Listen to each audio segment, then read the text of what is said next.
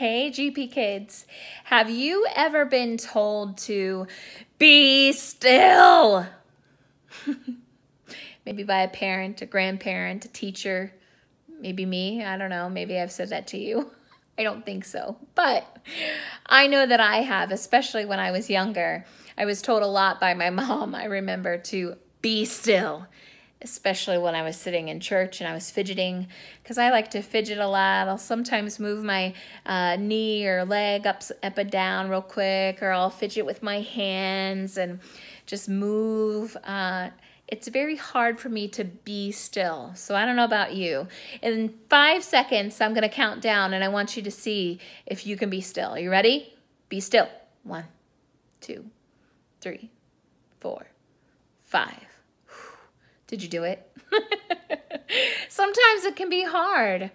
Well, I tell you, I usually would be that way and deal with um, uh, moving a lot when I had anxiety. And even like I said, I'm a little bit older than you guys as an adult, I still deal with anxiety sometimes, and it causes me to kind of move and pace a little bit fidget. Uh, need something to do with my hands, or I'll walk a lot. Um, there are times just when I get anxious. I was thinking about you guys because I know this week, for a lot of you, you guys are going back to school. And whether that means you're getting online and joining your teachers and classmates through the internet, or maybe you guys are headed back into the school building for the first time since March and uh, going to join in your classrooms there.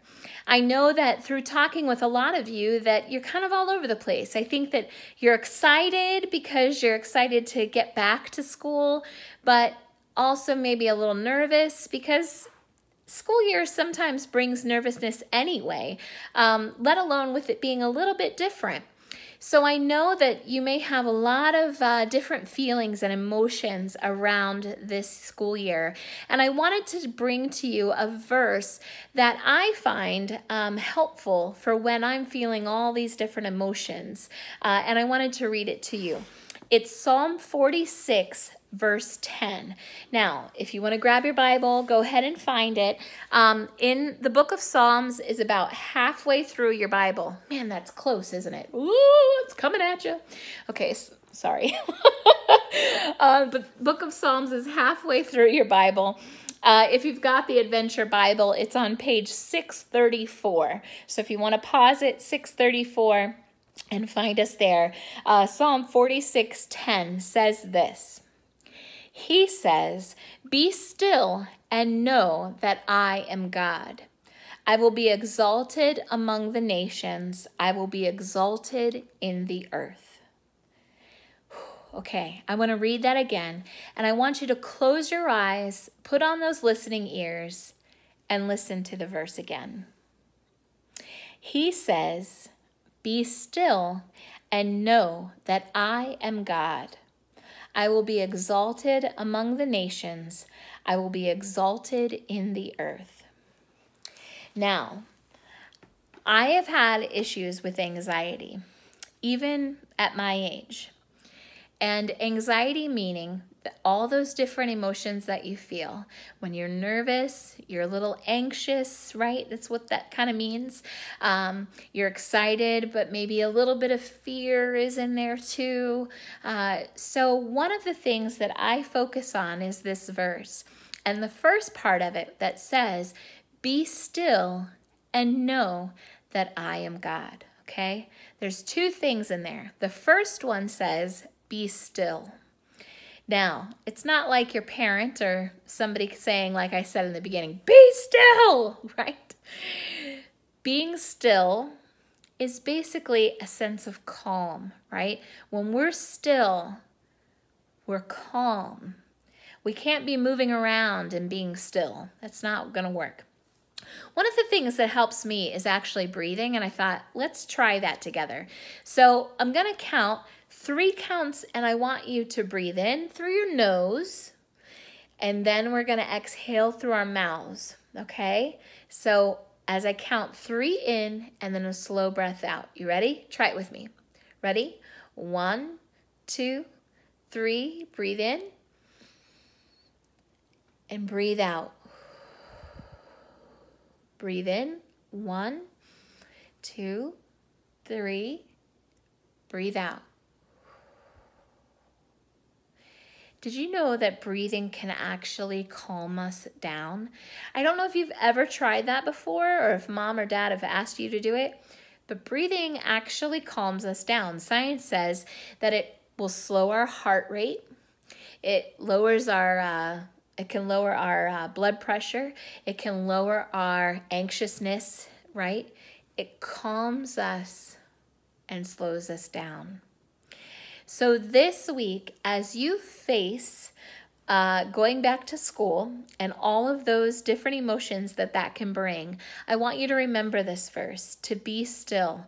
Like I said, do that breathing if you need to to help you get to be calm, right? The second part of that verse says that that that verse says uh, to know that I am God. And to know that He is God means that even when we can't control things, when we're feeling anxious, we're afraid, we're nervous, we're excited, and all of those things all at once, maybe we don't feel in control. But we know that God is in control. God is God. And that's, He's got it all under control. That's what we need to know. We need to be still, to calm our hearts, and know that God is with us, that we're not alone. He sees us being anxious, He sees us being afraid or sad, happy, joyful. He sees all of it. He created us, right? So we know that God is always with us. The Bible actually tells us that. He is always with us. So when you face this week, uh, know that God is with you and know that we are praying for you. Miss Meredith and I are praying for you. Your church is praying for you. Uh, so you're not going into this alone, which is great. You have a whole team of people who are praying for you and who love you and uh, know all of those emotions that you're feeling. And know that it's going to be a good year, right? It may look a little bit different, but it's going to be a good year, right? It can be a good year. All right, so God loves you, so do I. Let's pray together. Father God, we thank you for the fact that even in our anxieties, our nervousness, our excitement, our uh, fear, or anything that we're feeling, that we can just be still and know that you are God, that you are always with us. And we thank you that you are always with us. Father, I pray for all the kids, all the teachers, everybody going back to school this week. Lord, be with them uh, help everybody to remain calm and trust in you. We love you. Pray all these things in Jesus' name. Everybody said, Amen. Guys, have a great week. We'll talk to you soon. Bye bye.